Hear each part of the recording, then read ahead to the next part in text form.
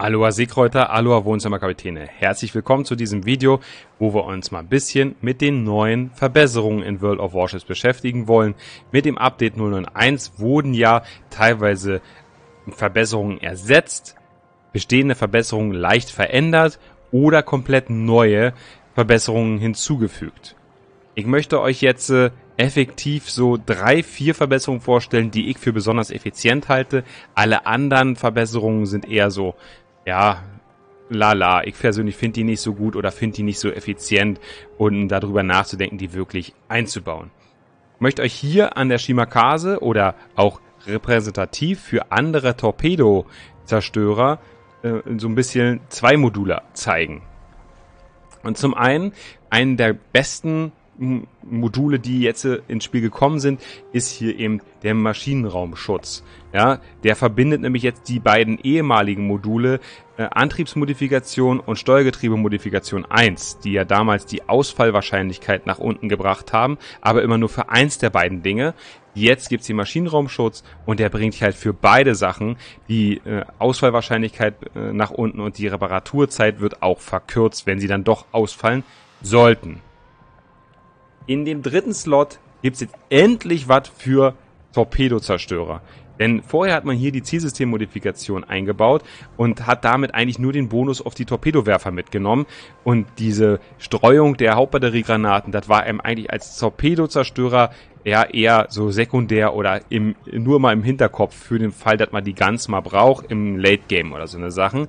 Aber Jetzt haben wir was, was äh, den Torpedozerstörer deutlich verbessert. Und zwar einmal gibt's hier einen Bonus ähm, auf ja, 5% mehr Höchstgeschwindigkeit bei den Torpedos. Basis dafür ist immer der Basiswert der Torpedos, also ungeskillt. Ne? Torpedobeschleunigung zählt da nicht mit rein, sondern wenn der Torpedo halt 65 Knoten hat, werden darauf die 5% berechnet und nicht schon auf den verbesserten Wert. Dann wird die Torpedowerfer-Drehgeschwindigkeit um 20% erhöht, also so wie auch die C-System-Modifikation das eigentlich tut. Und dann es noch einen ganz wichtigen Wert, nämlich den Risiko des Ausfalls des Torpedowerfers wird um 40% gesenkt.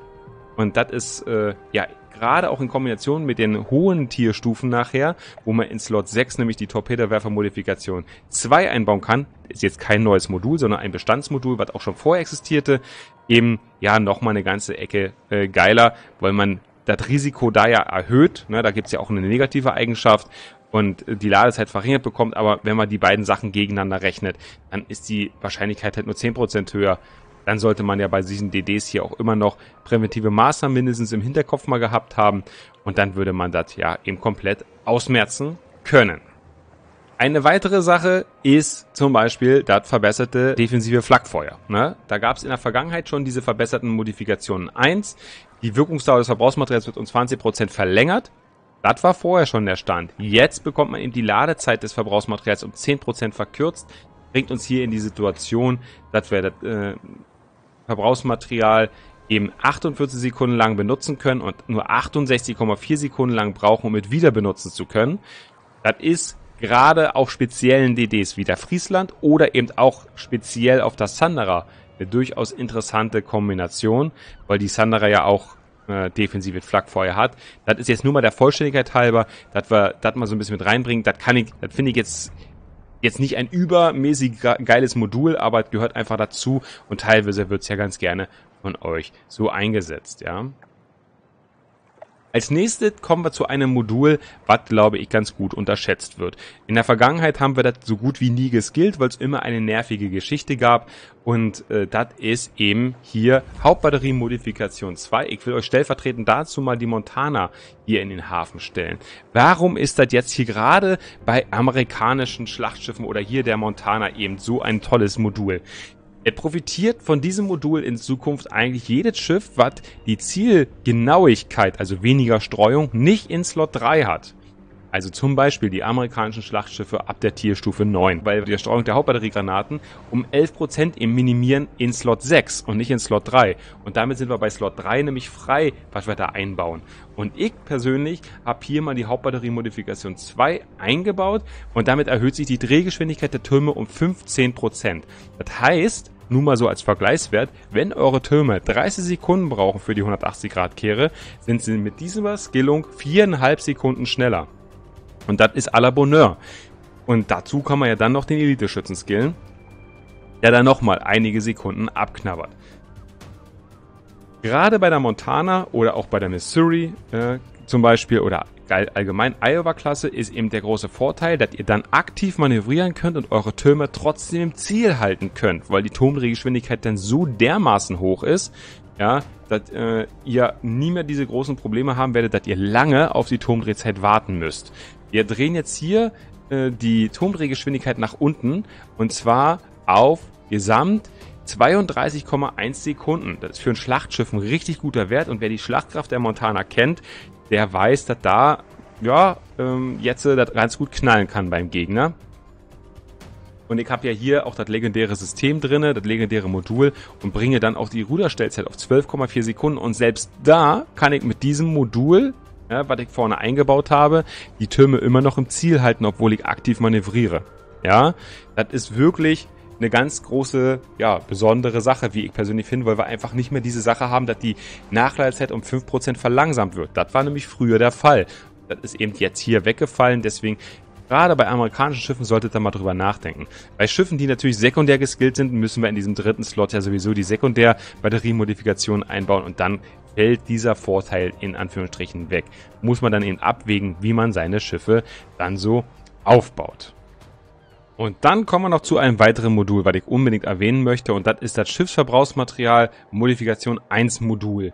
Was äh, die ganzen Sachen, also alle Verbrauchsmaterialien, die ihr auf dem Schiff habt, um 10% verlängert. Das kann besonders interessant sein, meiner Meinung nach, auf Schiffen, die sowieso weit vorne an der Front stehen. Also sowas wie großer Kurfürst oder sowas wie Kreml. Zumindestens rein von den Werten her sind diese Schiffe ja eher weit vorne angesiedelt. Kreml aufgrund der Streuung und der Kurfürst aufgrund der Sekundär. Beide sind sehr, sehr stark gepanzert. Ähm, wahrscheinlich die stärkst gepanzerten Schiffe im Spiel. Und ja, da kann man eben diese Verbrauchsmaterialien super gut benutzen, wenn man auf die Tarnung verzichten kann, weil die Schiffe eben weit vorne stehen müssen oder sollten. Und durch die Verlängerung der Verbrauchsmaterialien wird dann zum Beispiel bei der Reparaturmannschaft eine ganze Ecke mehr Trefferpunkte wiederhergestellt, weil 2,8 Sekunden pro Zyklus läuft die Reparaturmannschaft beim Kurfürsten zum Beispiel länger. Das sind 1817 Trefferpunkte, wenn ich mich jetzt recht äh, erinnere.